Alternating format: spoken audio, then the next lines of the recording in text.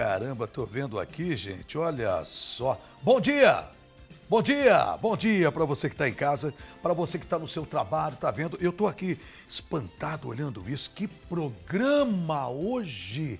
Eu se fosse você, mas não, olha, não desgrudava a atenção da sua TV.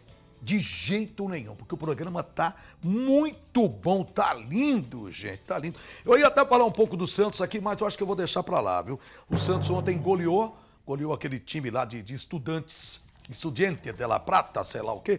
Ganhamos por 1 a 0 Que goleada. Vanderlei, você joga demais, Vanderlei. Esse Vanderlei, ele realiza alguns sonhos, né? Que tantos goleiros gostariam de ter. Pega tudo, homem, gente. Pega tudo. Mas não vou falar em futebol porque o programa tá maravilhoso. Bom dia para todo mundo. Você vai se emocionar hoje com a trajetória de vida do Cícero. O Cícero é de Araçatuba. Ele conheceu a música e conheceu também o craque muito cedo. Nós vamos mostrar para você aí de casa como ele superou o vício e hoje se prepara para viver da música. É já já, gente, uma história linda, maravilhosa. E ele vai estar aqui, ao vivo, falando dos novos projetos, cantando. Eu fico pensando, será que esse cara é bom mesmo, rapaz? Será que é bom? Ah, não quero saber, quero saber aqui. Quero ver a hora que ele chegar aqui fazer ao vivo, porque ao vivo é diferente, né? Mas ele já está aqui no estúdio no estúdio. Daqui a pouco você vai ver essa história. É maravilhosa, mas não desgruda mesmo. Eu, eu sei que a senhora está falando, Carlos Hernani, hoje é sexta-feira, resolvi fazer uma macarronada aqui para esperar meu marido. Vai lá, olha tu destampa as panelas. Não me deixa cair as tampas da panela no chão, pelo amor de Deus, que amassa. Aí, já caiu. Pronto, já caiu. Você viu, meninos? Caiu aí tampa. Tô vendo uma. Que turminha linda que tá aqui. Já já vou mostrar. Mostra lá, mostra lá. Essa turminha linda. Deixa eu falar o nome dessas crianças da NBV que estão comigo aqui. O Gabriel, a Júlia, a Tamires e o Patrick. Eles estão aqui acompanhados da Silvana e do Moisés, tá bom? Olha que coisa boa. Mas antes eu quero falar do Mufato. Você que procura carne de qualidade para o seu churrasco, sexta-feira, gente, para aquele almoço especial amanhã com a família. Você precisa aproveitar os dias de carne Mufato. Tem carne fresquinha, de qualidade, direto do produtor para você. E muito mais sabor para suas receitas. Com ofertas arrasadoras e imbatíveis, do jeito que você gosta. Confira comigo. Ju, vamos fazer um churrasquinho. Com carne fresca da fazenda, que vem direto pro Mufato. E quinta e sexta é dia de carne, sempre com muita qualidade e frescor. Com tudo que o campo tem de melhor. Bisteca suína Clube Fato 5,98 kg, A100 Clube Fato 10,98 kg, Colchão Mole Clube Fato 15,98 kg, Café La Santé 500 gramas 6,98, Arroz Rosalito 5 kg 8,45, Cristal 350 ml 1,48, beba com moderação. Mufato, faz bem feito. Tá vendo, gente? Venha já pro Mufato, não perca mais tempo, é muito mais sabor e muito frescor para você. Mufato, você sabe faz bem feito. Eu estou falando que o programa de hoje está fantástico, está sensacional. Nós vamos até ser, eh, nós vamos ser homenageados aqui. O programa. Olha, Ronan. Ô, Ronan, você viu? Pode aplaudir, Ronan. Deixa eu chamar aqui o meu amigo Moisés Alberto de Lima. Vem para cá, Moisés. Vem cá, Moisés. Deixa eu trazer aqui o Moisés. Pode entrar você e a Silvana, é isso? Que bom ter você aqui. Prazer que é prazer. Nosso. Puxa vida, como vai? Prazer, que bom te ver, Silvana. Que bom receber vocês da LBV. Vocês sabem que eu tenho um carinho muito especial, muito grande pela LBV. Gosto muito do trabalho de vocês. Trabalho muito bonito, maravilhoso. Que bom que vocês estão aqui com a gente. Mas a gente vai ser homenageado, é isso? Isso, hoje é. nós estamos aqui para homenagear a toda a equipe, né? Do, do Bem, na Hora. Bem na Hora e do SBT Interior. Ah, que bom. Poxa, é isso mesmo, Silvana? Isso mesmo, Carlos. Nós tá. estamos aqui, nós da LBV, viemos é, fazer um reconhecimento de todo o trabalho. Como o dia 7 de abril é o dia do jornalismo, hum. então nós viemos aqui homenageá-lo e também toda a equipe do, do SBT Interior por, por, essa data tão festiva. A gente não poderia deixar passar em branco. Pelo tá. carinho que você tem sempre conosco, então a gente veio homenagear todos vocês. Que bom, querida. Eu quero dizer o seguinte, gente, tem algumas imagens aí, eu acho que tem imagens. A LBV atende cerca de 170 crianças, é isso, né? Isso Silvana? mesmo. E um projeto muito lindo, que vale o nosso nosso reconhecimento. As atividades visam trazer sempre ensinamentos do bem que os pequenos podem levar para toda a vida. É isso que vocês fazem com as crianças, né? Elas saem dali se sentindo é, gente já, bem formada, né? Com essa formação linda que vocês passam. Isso é bonito. Quantas crianças já passaram pela LBV? Eu acho que vocês não têm conta disso, tem? Não, não temos, porque é. a LBV em Aracatuba já atua há 60 anos, esse ano completa 61 anos. Nossa, então, várias só. crianças, inclusive Hoje, pais de crianças têm seus filhos conosco. Então, assim, é muito gratificante continuar esse trabalho do bem, valorizando o ser humano e fazendo caráter nas crianças. Né? Então, a gente é muito gratificante poder estar participando é, da LBV, dessa instituição. Que bom, que bom. Então vem para cá, meninas e meninos. Vem para cá. Olha só, eles estão trazendo aqui. Pode entrar, pode entrar. Tá aqui essas crianças maravilhosas. Vai falando o nominho para mim, para eu repetir. Gabriel. Gabriel, você está trazendo para mim o prêmio e você é o? Patrick. O Patrick. A Tamires. Tamires. Júlia. E a Júlia. Vem aqui, fica tudo pertinho de mim, olha lá para a câmera. Pra... E, e você está e, e, trazendo para a gente Deixa eu ver, é isso aqui que você vai me entregar? Olha que coisa linda! Aplausos aí. Hoje nossa pauta é você. Olha aqui, tá escrito. Hoje a nossa pauta é você. Muito legal, dá para mostrar aqui. Eu vou ganhar o quê? Uma caneca cheia de chocolate? Verdade? Também é para o nosso programa. Que coisa boa. Muito obrigado. Ah, esse agradeço é, muito. Esse é, esse é especial para o senhor. Ah, muito bom, tá? linda, Com muito linda, carinho. Linda. Muito obrigado, viu? Agradeço muito a presença de vocês aqui. Em nome do programa, em nome de todos aqueles que trabalham aqui nos bastidores, né? Que estão sempre com a gente, fazendo o nosso programa do bem. Que esse bem. é o programa do bem. Esse é Eu importante. agradeço muito a presença de vocês, ok? Muito obrigado, gente. Valeu, valeu. Muito obrigado mesmo. Que bom, gente. Olha, vou deixar aqui, já já a Renata pega, tá? E olha só, receber homenagem é tudo de bom. A gente gosta muito, gosta muito. Bom, é, vamos conhecer o personagem do Bem na Hora de hoje. Opa, opa, corre aqui, corre aqui. Vem lá um comigo aqui para dizer o seguinte. Agora a gente vai conhecer esse personagem. Ele nasceu em uma família de músicos, mas viveu entre dois mundos.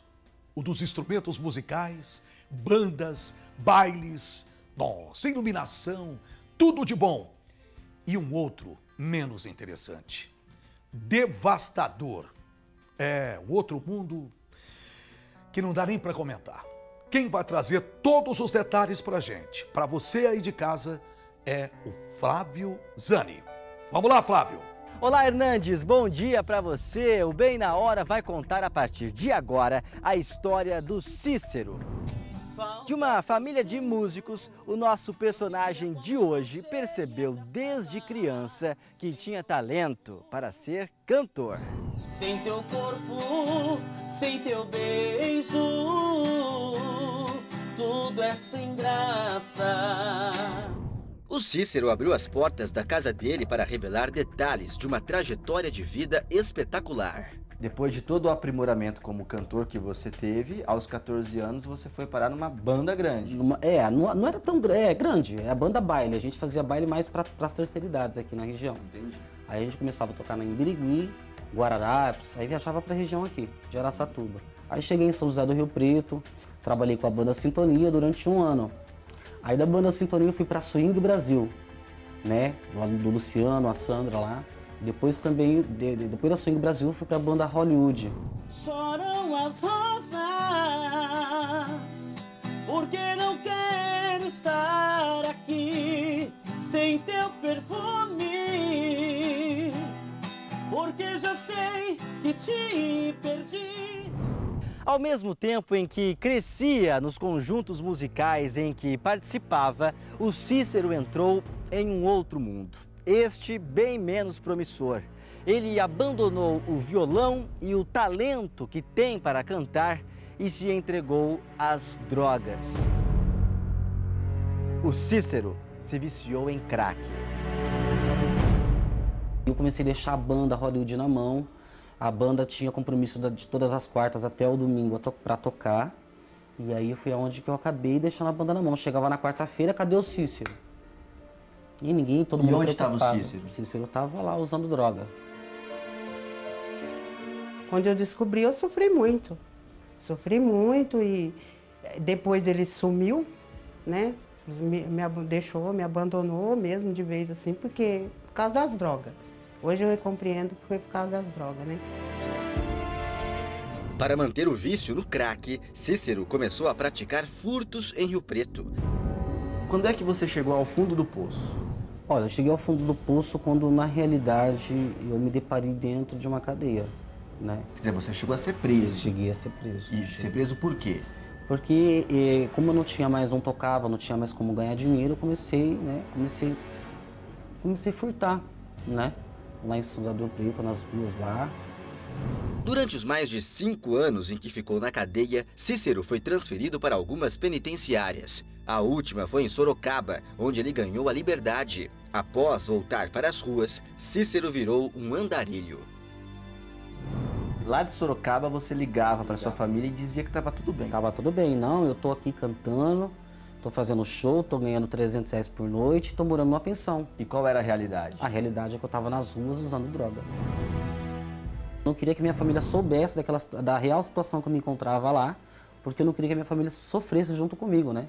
Quando ele ligava para mim, ele falava para mim que ele estava bem.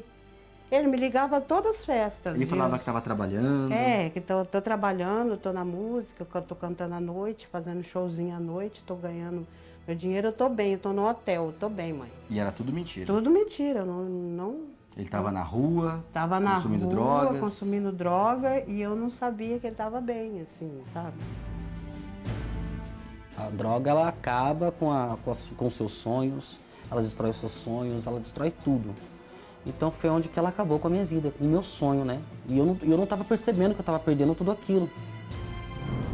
Mas a história deste homem ainda reservava algo muito especial.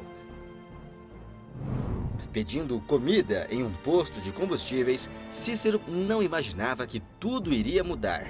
Foi aí que a vida das drogas começou a perder espaço para o talento de cantor.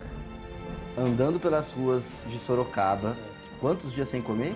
Fazia três dias. Três dias sem comer, Sim. você encontrou o Anderson, Sim. que foi uma pessoa que te estendeu a mão. Sim, me estendeu Comprou comida pra você, comprou refrigerante pra você, aí você sentou lá no posto de combustíveis, comeu o ah, o salgado, tomou o refrigerante e disse a ele que você era cantor. Isso. Ele não acreditou.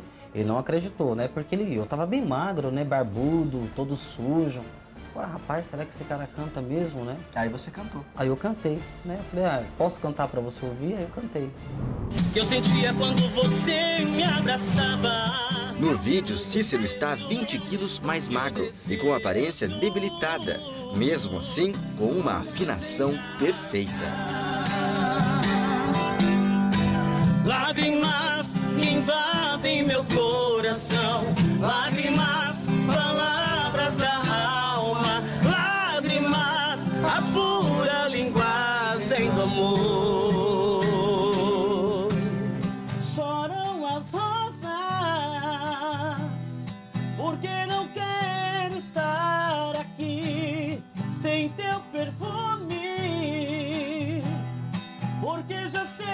que te perdi, entre outras coisas. Eu choro por ti.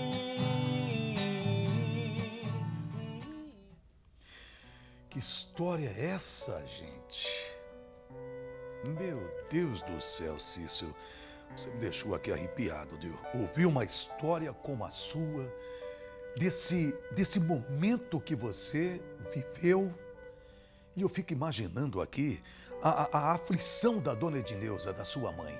Imagina a aflição da mãe de saber que você vivia no mundo das drogas. E como é difícil esse mundo, todo mundo sabe disso, né? Aqueles que passaram, aqueles que passam, que estão passando, sabem como o que nós estamos falando. Então, realmente é muito difícil. Mas dizer agora, eu fico pensando assim, e aí? Como que o Cícero saiu dessa? Foi através da música? Como? Vivia nas ruas, debilitado como você viu aí no vídeo? E ele deu a volta por cima? É. Segundo bloco a gente se fala. Eu também tô curioso para saber. Vamos aguardar. Na hora, 11 horas e 17 minutos agora. 11 e 17, nós estamos contando a trajetória de vida do Cícero, né? E, na verdade, essa trajetória da vida do Cícero não estava muito promissora, não. Não, você viu no primeiro bloco, não estava. Não estava. Ele, que tem um talento absurdo para cantar, se envolveu com drogas, se viciou em crack e viu o mundo desabar. Depois de passar mais de cinco anos preso, preso, o Cícero voltou para as ruas, virou andarilho. Eu acho que ele deve ter pensado: não cheguei ao fundo do poço, não vou sair mais dessa. Nunca. Mas a vida, ela às vezes, no minuto, num segundo, tudo se transforma.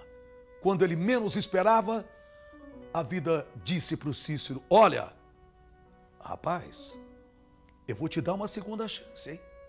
Vou te dar uma segunda chance. Vamos ver? Vai lá, Flávio.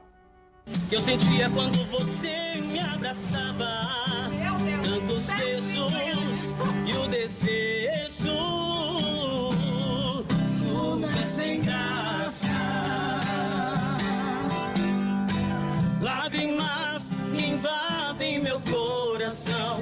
Lágrimas,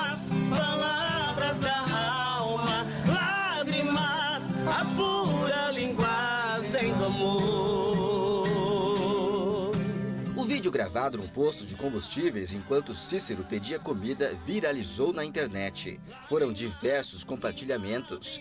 Quem assistia ficava impressionado com o talento do morador de rua. Começava ali uma volta por cima. E você não imaginava que esse vídeo ia mudar a sua vida? Não imaginava. Não, faz, não tinha total noção. E nem sabia que. Pra mim, ele gravou por gravar né, e ia postar ali no, no- no Facebook dele. E, e pra mim, pronto, né? Já nem esperava, nem imaginava nada o que ia acontecer na minha vida através desse vídeo.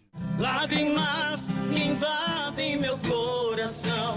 Lágrimas, palavras da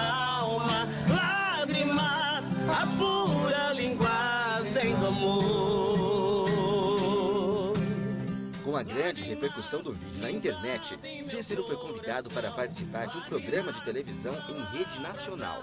Ganhou a gravação de um CD e ainda a oportunidade de tratar o vício do crack em uma clínica de reabilitação. A minha vida mudou, porque eu, eu, eu recebi uma proposta de ir pra clínica de recuperação. Aí eu fui pra clínica lá em Arthur Nogueira, fiquei cinco meses internado lá. E quando eu cheguei na clínica, eu me entreguei pro tratamento. Falei, não, eu quero o tratamento, eu quero me tratar. E aí, depois de cinco meses que eu fiquei na clínica, eu não sabia o que ia acontecer comigo, né? Não sabia de nada. Sempre orei ao Deus, sempre pedi para Deus renovar a vida dele, né? E hoje eu tô vendo ele aí, ó, um rapaz lindo, maravilhoso aí, ó, trabalhando na música aí, fazendo, conseguiu, né? A carreira dele que ele tanto sonha, porque o negócio dele é música.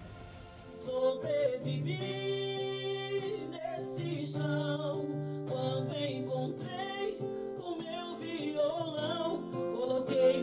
melodia nessa história. Muito prazer, me apresento a você. Longe das drogas e com a aparência muito mais saudável, hoje Cícero trabalha cantando em casas noturnas de São Paulo. Mas está passando alguns dias com a família em Araçatuba. É num estúdio daqui que ele está gravando o primeiro CD. Prazer, me apresento a você. Sou menino canção. A sua história é, tem o fundo do poço, Sim. mas tem o final feliz. Tem, graças a Deus. Como é que tá esse CD hoje? Esse CD tá bom, tá um projeto muito bonito, tá legal. Logo aí a gente tá- vai estar lançando aí, vai ser lançado para todo o Brasil também, né? Sobrevivi nesse chão Seu filho canta bem? Canta muito. É? Não é mãe coruja não, que Não, tá é a mãe coruja, né, que É tá falando, não é coruja. porque é a mãe, a mãe, mãe falou é coruja. né? Mas ele é bom. Mas é ótimo. Vocês vão ouvir ele cantando, vocês vão ver, maravilhoso, canta muito. Nesse chão quando encontrei. Acompanhamos um dia de gravação do CD. No estúdio, Cícero está interpretando a música Menino Canção, uma composição que narra sua própria história de vida, uma trajetória que tinha tudo para dar errado, mas que teve uma segunda chance para dar certo. Menino canção. A gente começou primeiro montando as músicas, né? Teve uma produção do Léo, da dupla Léo com o Júnior, do Léo e Júnior, né? E teve outras pessoas que também deram canções pra gente, né? Pra gente fazer o trabalho com ele. Todas as pessoas que puderem ajudar o Cícero, né? Acho que é muito importante, principalmente nessa fase de gravação, que a gente ainda está na fase inicial agora, né? Estamos escolhendo as guias e as composições que foram doadas por compositores do Brasil inteiro também. Então, agradecer toda essa galera aí e principalmente os de Araçatuba, né? Os músicos, os compositores aqui também que deram uma força e estão ajudando. Muito prazer, me apresento a você, sou menino canção.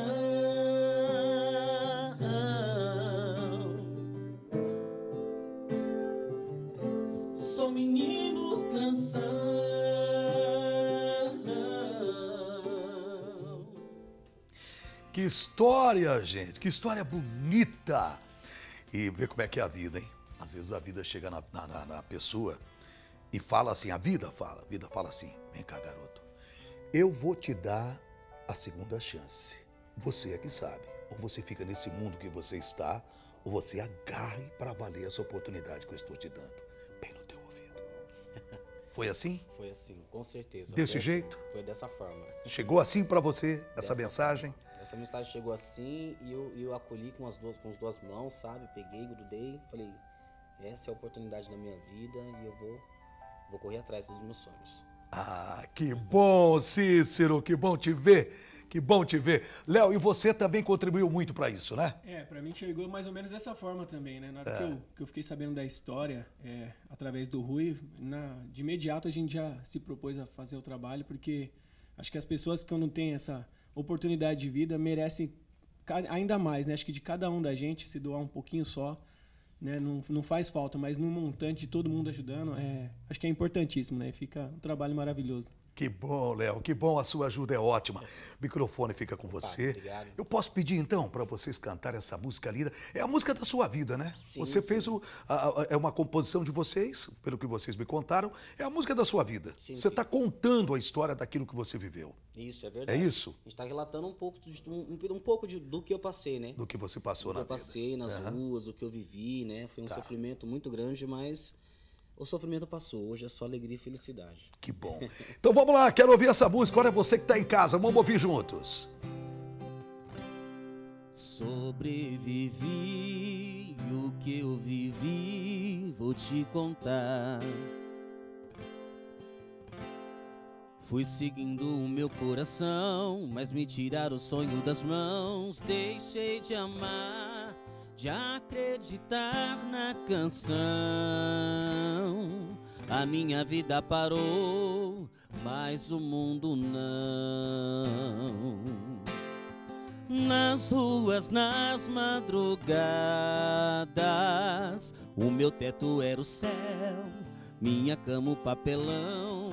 Fui o meu próprio inimigo, no abismo o anjo me estendeu a mão e sobrevivi desse chão. Quando encontrei com meu violão, coloquei melodia nessa história. Muito prazer, me apresento a você. Sou menino canção.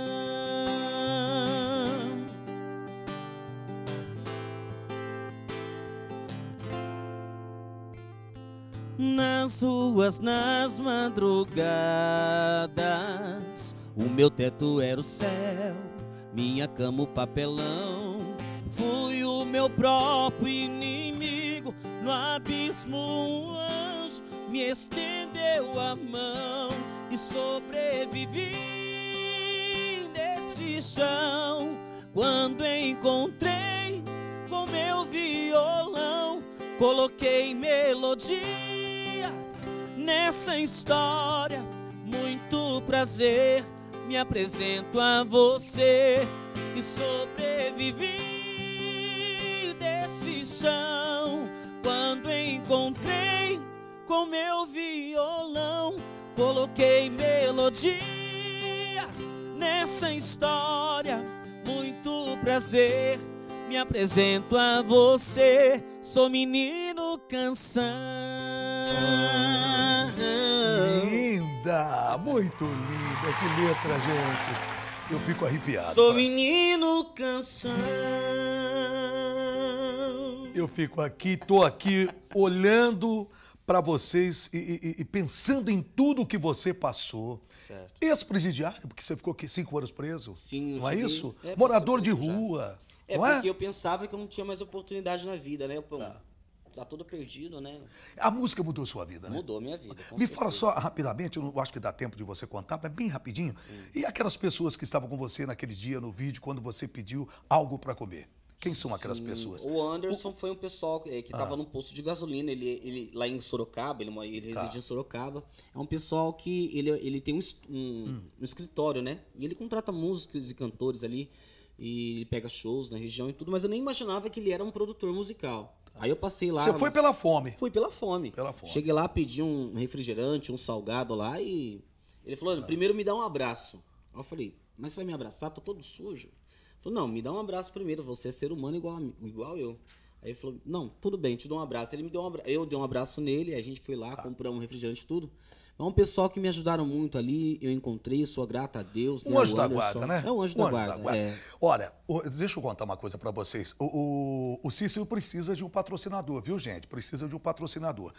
Deixa um telefone para contar, de repente tem alguém que fala, ah, eu vou estar com o Cícero nessa parada. Vai. Certo. Bom, o meu é 011, né? 963 99 é, 963 963 99 1708. Isso. 11011 963 99 1708 ou do Léo. Fala aí, Léo.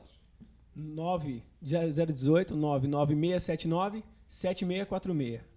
Tá. Então, de fundinho aqui, você vai deixar essa música linda aí, que nós estamos terminando o programa. Cara. Olha, muito obrigado. viu, Valeu, Hernandes? valeu, valeu. Eu Obrigado. que fico feliz em saber que você está bem. Léo, valeu, viu? Parabéns. Gente, estamos terminando o nosso programa. Muito obrigado a todos. A gente volta na segunda-feira. Segunda-feira eu tô aqui de Opa, volta. é Com bom. muita paz, com muito carinho. Bom final de semana para todo mundo. Vamos Valeu, lá. Obrigado, Araçatuba e toda a região aí.